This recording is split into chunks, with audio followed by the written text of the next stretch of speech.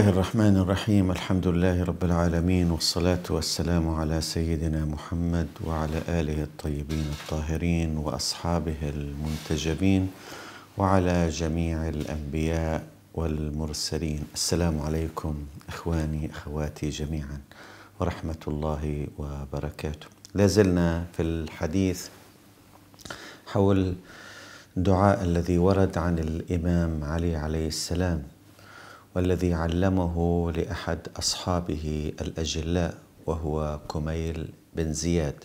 هذا الدعاء الذي يفيض خشوعا ويفيض محبة لله وتذللا له وتضرعا ينبغي أن نحرص عليه دائما أن نحرص على قراءته في كل وقت ولا سيما في ما ورد من استحباب قراءة هذا الدعاء فيه في ليلة الجمعة أو في ليلة النصف من شهر شعبان. وكما دائما نشير علينا أن نقرأه كاملا ومن لا يستطيع أن يقرأه كاملا من الجيد أن يقرأه أجزاء. يعني ممكن في كل أسبوع في ليلة الجمعة أن يقرأ جزء.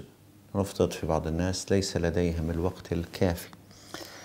ممكن أن يقرأ جزءا منه في الأسبوع القادم يقرأ الجزء الثاني وهكذا حتى ينهي هذا الدعاء. المهم أن نواظب على هذا الدعاء حتى نستفيد من معانيه الكثيرة التي تتصل بإيماننا وتتصل ب سيرنا في هذه الحياة التي نعيش. دائما أدعية الأئمة عليهم السلام كما الأدعية الواردة عن رسول الله صلى الله عليه وآله دائما تحمل مضمونا تربويا توجيهيا كما تحمل مضمونا يتعلق بالعلاقة بالله سبحانه وتعالى. يعني هذه الأدعية أرادت أن توسع دائرة تواصلنا مع الله أن لا نتواصل مع الله لنطلب منه الحاجات العادية اللي عادة نحن نريد أن نحصل عليها في هالحياة بل أن نطلب من الله سبحانه وتعالى الأمور اللي بتتعلق بإيماننا بتتعلق بكيفية إدارة علاقتنا مع ربنا كيفية إدارة علاقتنا مع الناس الذين نعيش معهم الذين نختلف معهم أو الذين نتوافق معهم. يعني نطلب من الله سبحانه وتعالى كل هذه الأمور اللي ينبغي أن تكون موضع اهتمامنا. لأنه مش بس اهتماماتنا بالحياة أن الواحد يكون صحته منيحة ويكون طعامه جيد ولباسه جيد وأولاده مؤمنين في الحياة يكون كمان عندنا حرص على الجوانب الأخرى العقائدية والإيمانية والأخلاقية وكل شيء يتصل بحياتنا. والله هو سبيلنا للوصول إلى كل ذلك. صحيح نحن لازم نبذل جهد وهذا مطلوب أن نبذل جهدنا. قبل أن ندعو الله سبحانه وتعالى لكن بالنهاية الأمور. إن لم ييسرها الله لا, لا تتيسر. إذا لم يهدنا الله يوفقنا لهدايته سوف لن نستطيع أن نهتدي.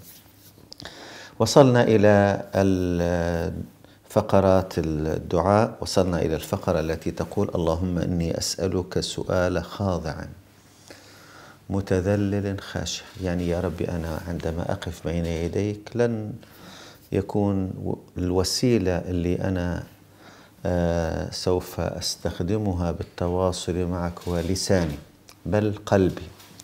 سوف أقف بين يديك وأنا خاضع لإرادتك وأنا متذلل لأني لا أرى أن أي أمر من الأمور يمكن أن أحصل عليها في الحياة إلا من خلالك. أنت بيدك الأمر بيدك كل خير بيدك كل شيء. ما في شيء في الحياة إذا لم يرده الله يتحقق. كل شيء يتحقق بإرادة من الله سبحانه وتعالى وبتدبير منه. خاشعا يعني لا بد للإنسان عندما يتوجه بدعائه إلى الله سبحانه وتعالى أن يكون قلبه خاشعا يعني أن يتوجه إلى الله بقلبه بحيث فعلا يكون قلبه متوجه إلى الله وإلى الله وحده.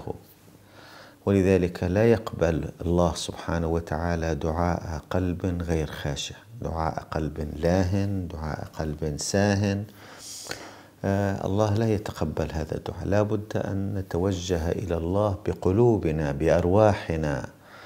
عندما آه ندعوه. اللهم إني أسألك سؤال خاضع متذلل خاشع. أن تسامحني. يا ربي أنا أخطأت أنا أسأت أنا أذنبت أنا قصرت. يا ربي أنا أسألك بقلب خاشع وبتذلل لك وبتضرع وبخضوع لإرادتك أن تسامحني.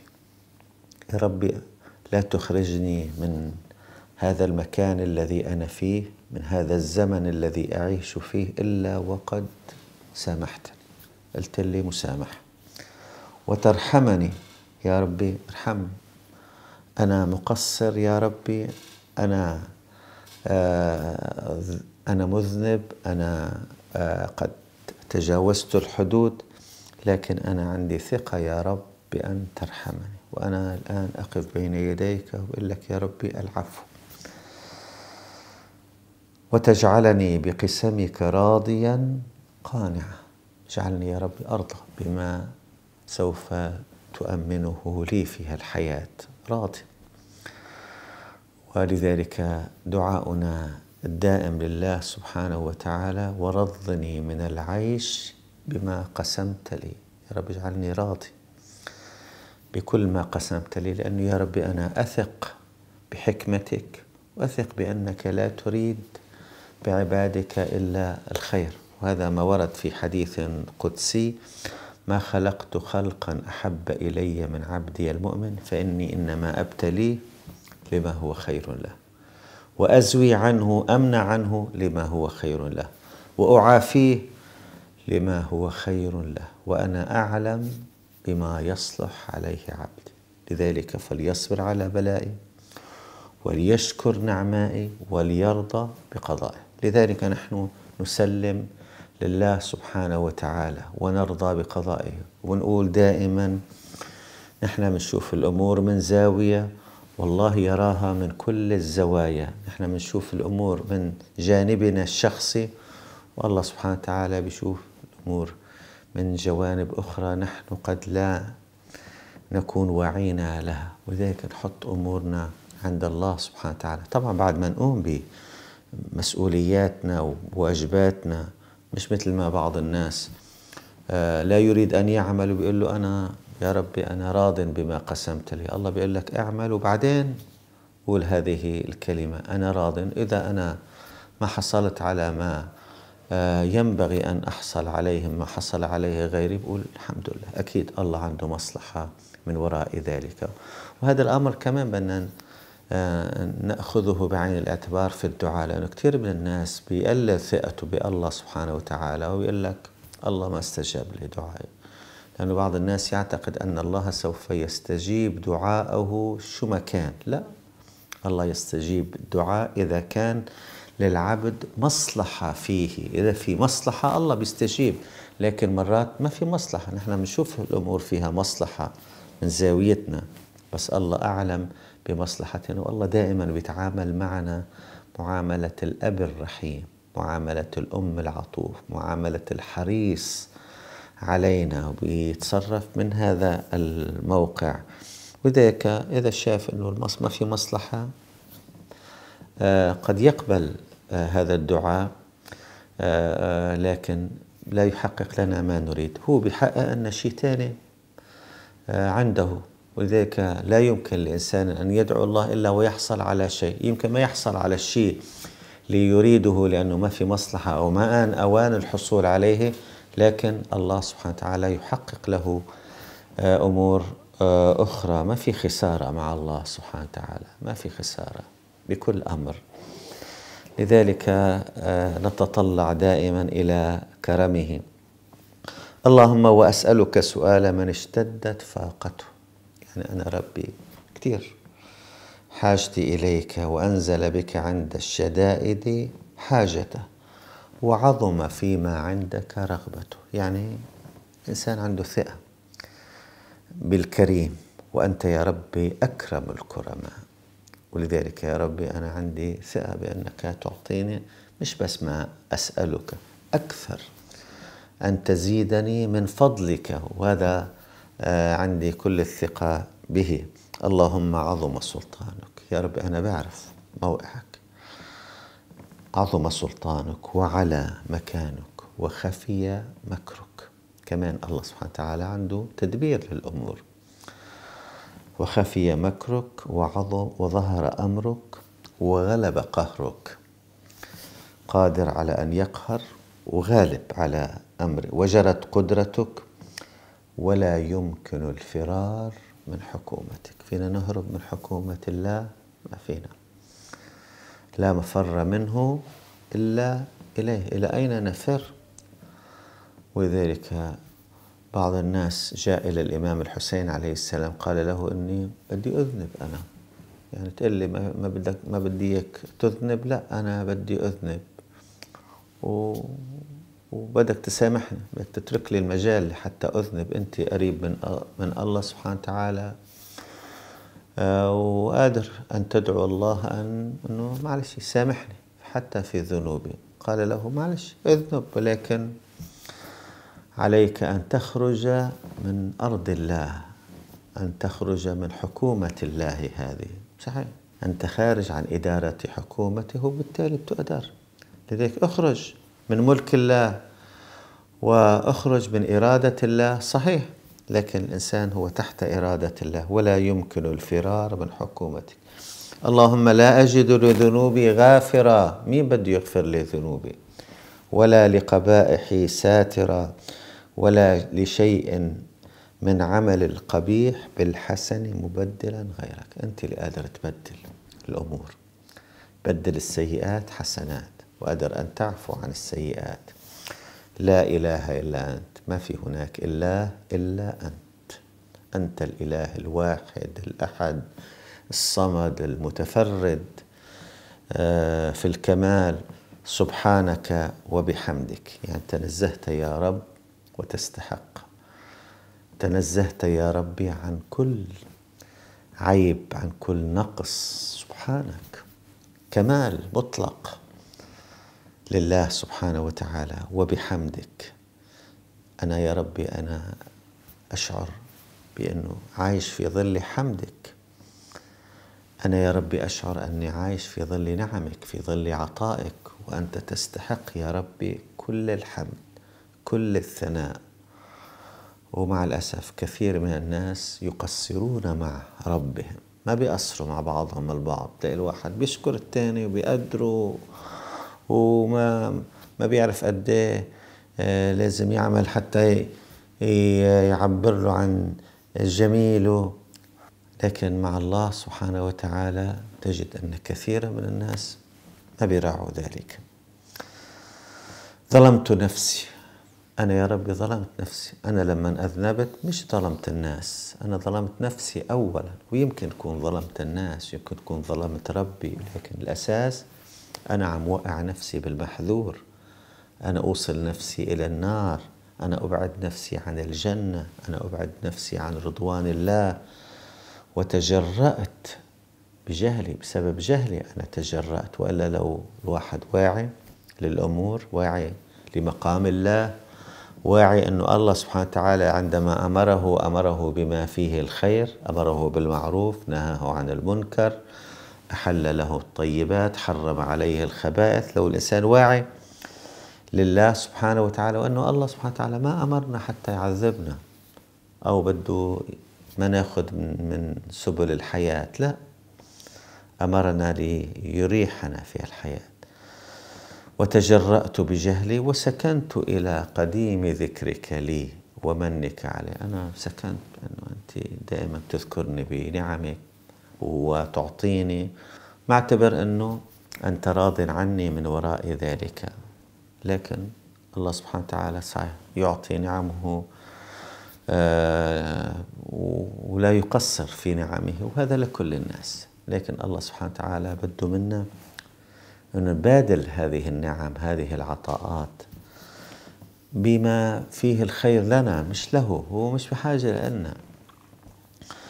اللهم مولاي يستعرض الإمام سلام الله عليه. ما هي العطاءات التي هيأها الله له؟ اللهم مولاي كم من قبيح سترته؟ قادر تفضحني قدام الناس؟ قادر. لكن أنت يا ربي لا تبرز مكتومي ولا تظهر ما في داخلي. كم من قبيح سترته وكم من فادح من البلاء أقلته. كان في بلاء ممكن يصيبني أنت منعت ذلك. وكم من عثار وقيته. كل واحد يتعثر بالحياة. وكم من مكروه دفعته وكم من ثناء جميل لست أهلا له نشرته يعني حببت الناس فيا. يمكن أنا مش مستحق. اللهم عظم بلائي وأفرط بي سوء حالي وقصرت بي أعمالي وقعدت بي أغلالي. القيود لتقيدني عن القرب منك وحبسني عن نفعي بعد آمالي. شايف الدنيا قدامي. مثل ما كثير من الناس. بيعتبر أن الدنيا هي أمامه طويلة وطويلة. ولذلك النبي صلى الله عليه وسلم كان يقول أخوف ما أخاف عليكم اثنتان اتباع الهوى وطول الأمل. فأن فأما اتباع الهوى فيصد عن الحق وأما طول الأمل بصير واحد أمله طويل بهالحياة فينسي الآخرة. طبعا مطلوب منا نعيش الأمل بالحياة ونعيش هالحياة نعيش أطول زمن ممكن. ولكن دائما مثل ما قال الإمام علي عليه السلام في حديث له اعمل لدنياك كأنك تعيش أبدا. ولكن دائما عد نفسك أنك قد تموت في أي وقت واعمل لآخرتك كأنك تموت غدا. هاي الصورة لازم دائما تصاحبنا بحياتنا. المؤمن عنده طموح بالحياة عنده أمل بالحياة مش ما عنده أمل مش دائما يشعر إنه كان بالموت إنه حاضر دائما أمامه. عنده أمل على مستوى التخطيط لكن دائما هو حاسب حساب إنه في أي وقت قد يلاقي وجه ربه على مستوى الاستعداد بعيش هذا الإحساس بأنه قد يلاقي وجه ربه.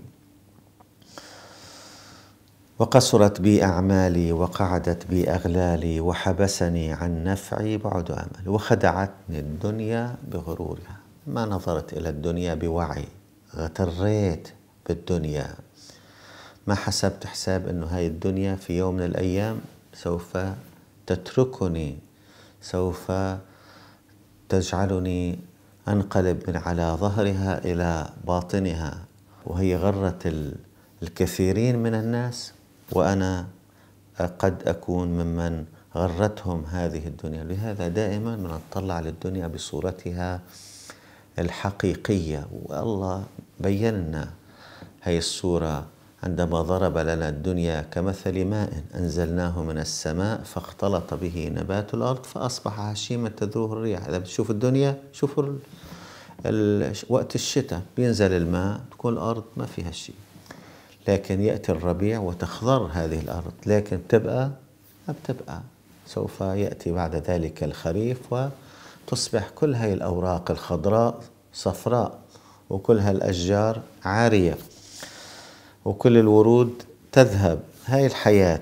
لذلك الواحد يكون واعي. دائما يبصر إلى الدنيا بعين الحقيقة التي هي عليها. كم من الذين عاشوا فيها؟ كم تركوا من جنات وعيون وزروع ومقام كريم ونعمة كانوا فيها فاكهين. تحولت بعد ذلك لأناس آخرين. وخدعتني الدنيا بغرورها ونفسي بخيانتها. النفس اللي أنا مفروض تعينني على طاعة الله خانتني وأمرتني بالسوء إن النفس لأمارة بالسوء إلا ما رحم ربي ومطالي يا سيدي. فأسألك بعزتك أن لا يحجب عنك دعائي سوء عملي وفعالي. ما يحجب عنك الدعاء أعمال السيئة حاجز الظلم حاجز الإساءة للناس بالكلام حاجز آه، كذلك القلب الذي لا يعرف محبة حاجز كلها. هالأعمال اللي قد تكون سبب في عدم وصول دعائي؟ أزلها يا ربي. فأسألك بعزتك أن لا يحجب عنك دعائي سوء عملي وفعالي ولا تفضحني يوم القيامة. بخفي ما اطلعت عليه من سري ولا تعاجلني بالعقوبة على ما عملته في خلواتي من سوء فعلي وإساءتي. لأنه ممكن الله يجزينا مباشرة.